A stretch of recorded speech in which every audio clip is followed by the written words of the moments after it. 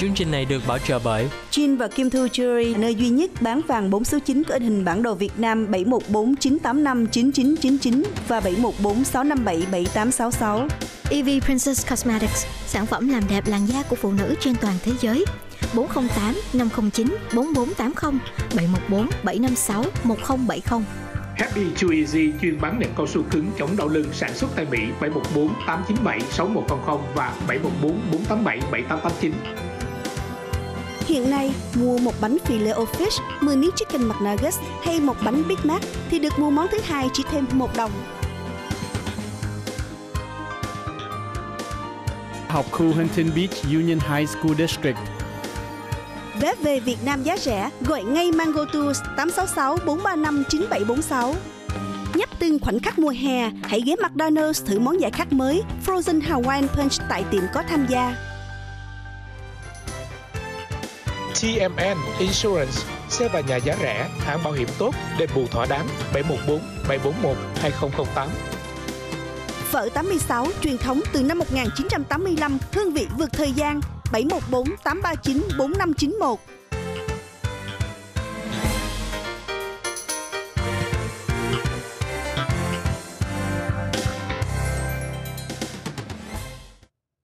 Quý vị vẫn tiếp tục với phần thứ tư của chương trình Cà phê sáng của Lido Sài Gòn TV. À, ờ, thưa quý vị, trong chương trình Cà phê sáng thì chúng tôi đã nhiều lần nhắc đến những cái vụ lường gạt khi mà quý vị nhận được những cái tin nhắn về cái chuyện chuyển tiền hoặc là cái hình thức là chuyển tiền qua Zelle.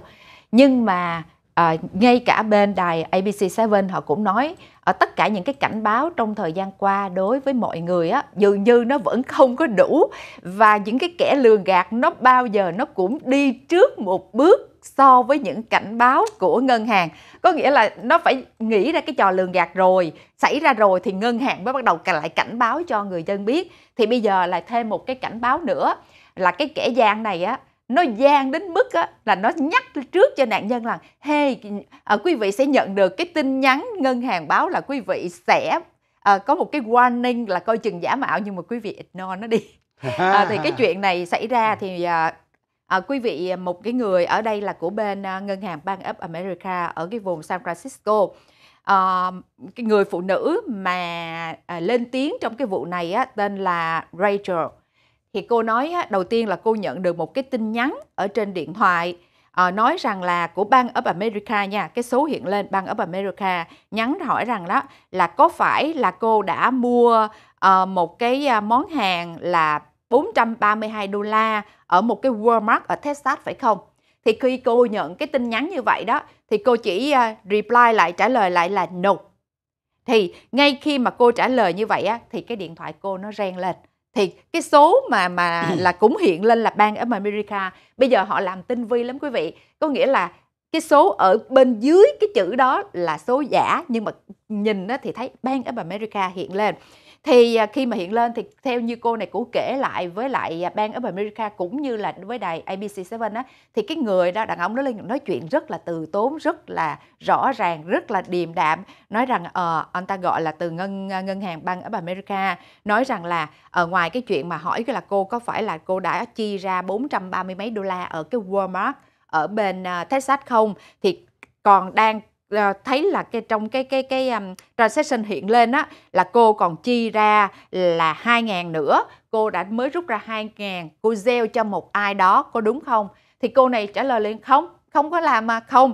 Thì à, thì cái người đó nói là ồ như vậy á, là thấy nguy rồi là bởi vì á, là thấy ở trong cái cái cái tài khoản của cô đang bị rút tiền như vậy. Thì bây giờ đó cô cái cách đó là cô phải nhanh chóng là cô à, giống như là rút lại cái tiền gửi gửi lại cái tiền đó vào trong cái tài khoản của mình. À, quý vị sẽ thấy trong cái bản tin người ta sẽ không nói cái chi tiết rằng là cái cách gửi như thế nào mà họ chỉ warning quý vị như vậy thôi. Nói là ờ bây giờ cô phải gửi lại một cái số tiền đó vào trong cái tài khoản của cô giống như lấy lại. Thì cô này nghe ờ có lý nhưng mà đồng thời cái người trên điện thoại nó nói là ờ khi cô gửi như vậy á, thì chúng tôi sẽ gửi cho cô một cái tin nhắn liền rằng là ờ rồi quý vị có biết người này không? Coi chừng đây là giả mạo vân vân giống như quý vị khi chúng ta vào trong ờ, gieo tiền chúng ta sẽ thấy cái tin nhắn đó cảnh báo để chúng ta biết rằng ờ mình đang gieo tiền cho ai, mình làm điều đó có đúng hay không? Thì cái tên mà ở trên điện thoại đó nói rằng là ờ cô sẽ nhận được như vậy nhưng mà ignore đi, cứ trả lời thì tôi đang control cái chuyện đó. thì cô này thấy ô người này nói chuyện rất là tử tế rất là đàng hoàng và ban up America nữa thế là cô gieo theo cái hướng dẫn đó gieo hết năm ngàn rưỡi wow. rồi xong thì khi mà cô gieo tiền như vậy cô nghĩ rằng là cô đang gieo vào tài khoản của mình nhưng thực tế là đang gieo qua tài khoản của cái tên giả mạo kia. Ừ.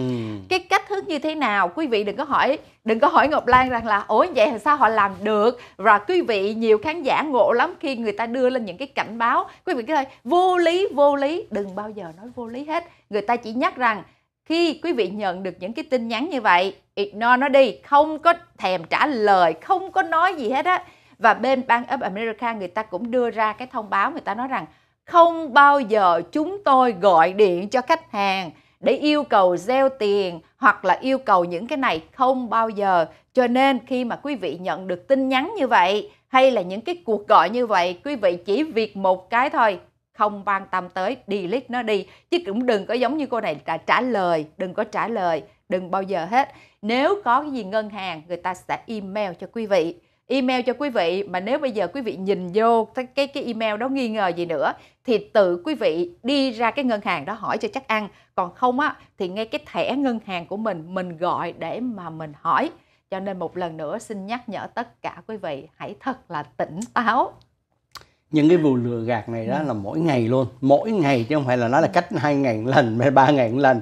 Mỗi ngày khi mà tôi mở email lên mở điện thoại lên mình nhìn những cái tin nhắn của mình mình nhìn những cái email mình nhận được đó thì nó quá trời những cái lừa gạt ở trên đó.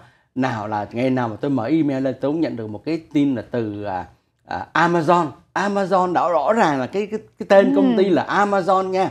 Rồi à, nói rằng là tôi có một cái gói hàng trị giá bốn trăm mấy chục đồng à, chỉ cần bấm order thôi mà quý vị quên bấm order thế như vậy mình ngồi mình nghĩ ủa mình đâu có mua gì bốn trăm mấy chục đồng rồi tôi delete cái email đó luôn. Ừ.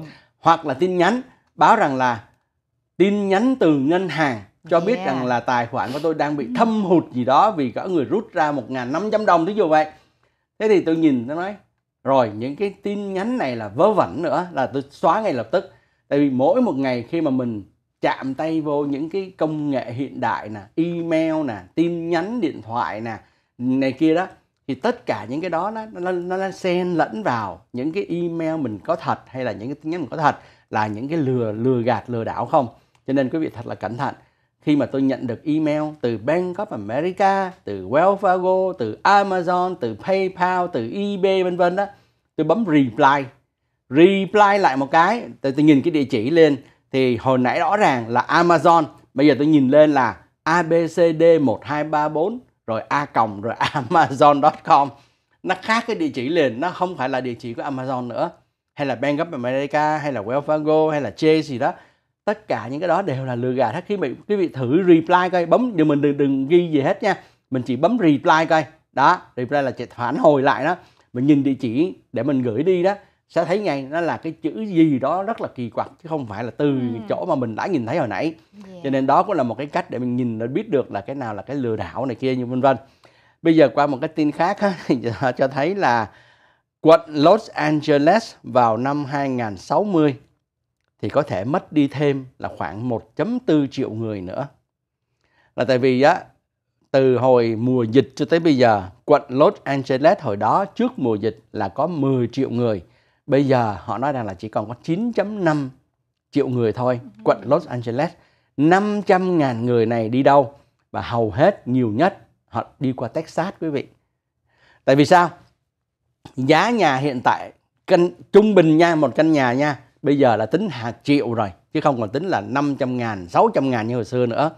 Trong khi đó, giá nhà ở bên Texas bây giờ cũng là một căn nhà trung bình có 300 ngàn. Người ta bán một căn nhà ở đây 6-700 ngàn người ta qua Texas người ta mua được hai căn nhà. Ừ. đó cho nên. À, cho nên dân chúng người ta có cái xu hướng là hiện nay mua ra khỏi tiểu bang California. Tiểu bang đắt đỏ quá cái gì cũng đắt hết. Xăng cũng mắc hơn mà nhà cũng mắc hơn đồ ăn cũng mắc hơn ví dụ vậy.